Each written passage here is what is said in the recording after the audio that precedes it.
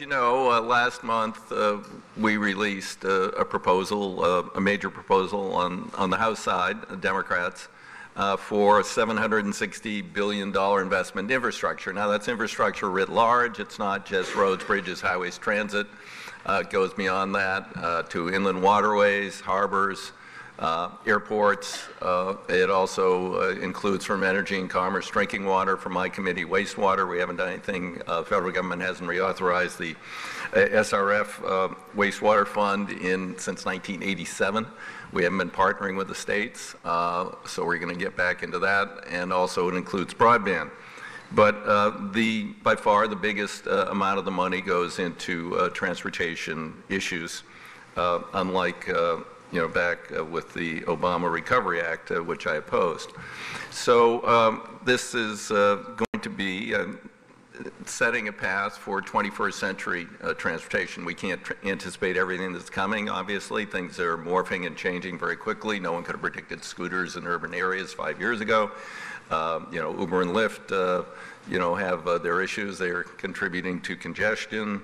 Uh, and uh, you know we, have got to deal with a whole host of new things. Uh, we're you know just-in-time deliveries, Amazon in urban areas, et cetera, et cetera. Been to their drone factory. Tell you what, if you don't live in a dense urban area, it's not very long until you get a drone delivery uh, at your home.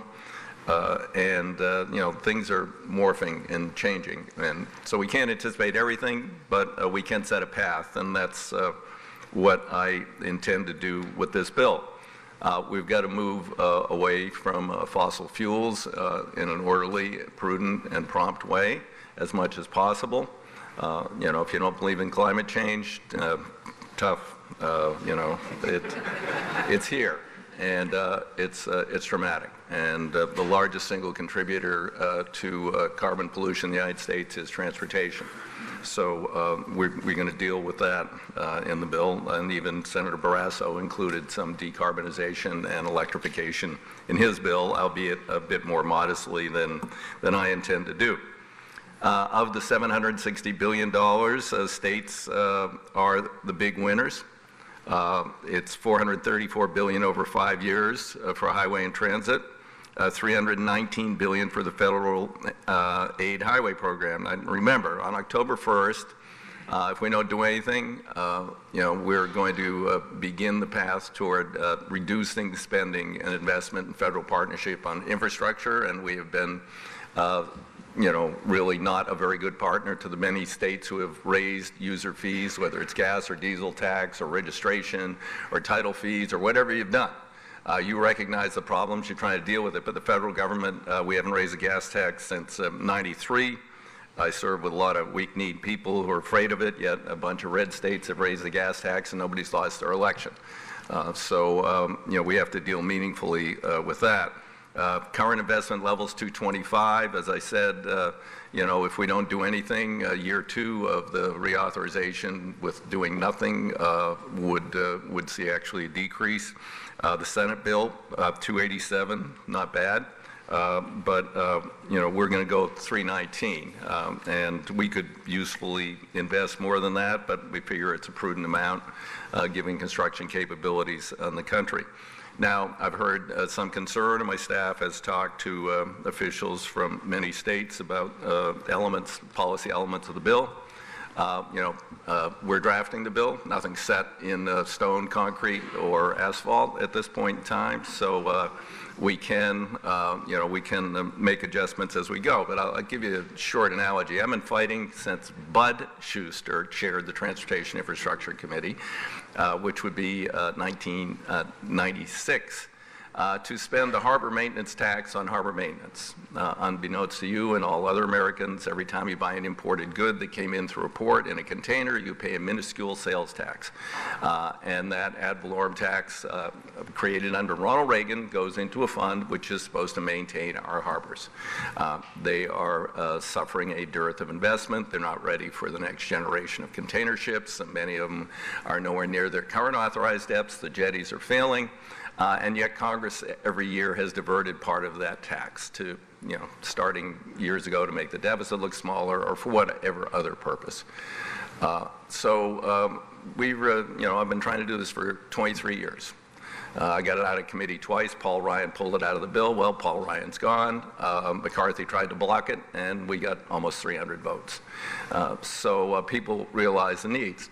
But part of getting there was the big harbors were fighting with the little harbors over how are you going to split the money up? You're going to have all this additional money. How are you going to split it up? Uh, well, years ago, I created a small set aside for, for small and emerging ports of 10%. And I said, well, you know, uh, we will come up with a fair distribution of the money and policies after you help me get more money. So that's the number one priority here, is you've got to help Congress have the guts to get more money invested in federal partnership in transportation in America. I don't think there's anybody in this room, we could have policy disagreements, who's going to say the system isn't failing us and falling apart. Uh, look at the ratings, look at the congestion, look at the fatalities, look at all the problems with the system as it exists. So, um, you know, uh, under this, uh, you know, I know there are concerns about uh, formula. Again, 90% uh, go, will go to state DOTs of a bigger amount of money uh, under a guaranteed formula. Uh, and we're, you know, we're tweaking uh, the formulas uh, as we go. So, um, you know, we're not going to do things uh, in the same old way. I mean, yeah, it was a, you know, I, I can remember the, uh, you know, the beginnings of the program. Uh, Dwight David Eisenhower, uh, and uh, you know the uh, National Highway Program.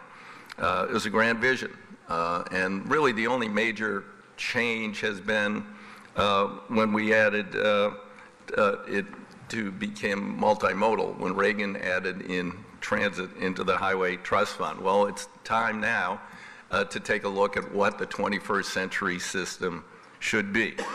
And as I said, uh, we are uh, going to deal with and want to have measurable results to move to reduce uh, carbon pollution. We need to build uh, the system in a way that will be resilient to uh, dramatic climate events. Uh, there are new materials that will last longer. I don't want to build any more 60-year bridges in this country. I want to build 100-year bridges. Um, you know, there are very exciting things happening in technology uh, in terms of uh, construction and new materials that are less carbon intensive. Uh, and I'm not favoring one form over the other, uh, you know, but, uh, you know, we are now, uh, you know, recycling asphalt a lot. Uh, we are, you know, they've developed, uh, you know, stronger uh, concrete.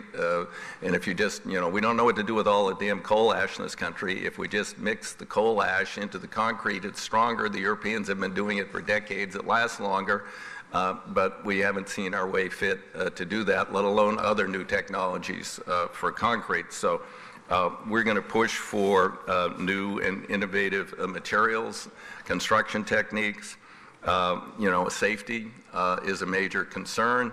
Uh, if you think about how many people died on the highways last year, you know, I'm, I'm very heavily involved in investigating Boeing and, and the MAX and that horrible tragedy and the people who died there.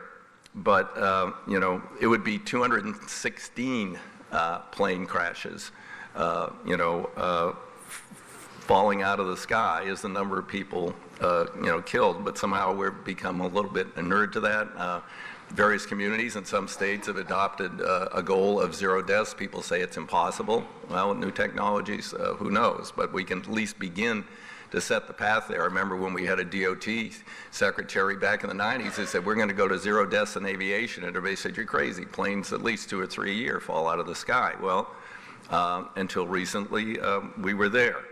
Uh, so, um, you know, we're going to deal with the pedestrian deaths. Uh, you know, we're going to look at alternate modes. We're going to look uh, again at, uh, you know, reinstating programs that uh, give people alternatives to their single occupancy vehicle. so, um, you know, these are, we want to have design criteria that are appropriate you know, and, uh, you know, fit uh, communities and fit people's needs. Uh, we want to, in urban areas, look at complete streets uh, and other, other things like that. So, as I said earlier, uh, you know, we might have some policy disagreements. Uh, we'll work those through. But if we don't get the money, if we don't get it done, then, you know, we are just going to continue to watch the system fall apart. Uh, And, uh, you know, states can't do it alone. Uh, And you need our partnership, you need federal help, and I want to help. So thanks very much for being here. I appreciate it.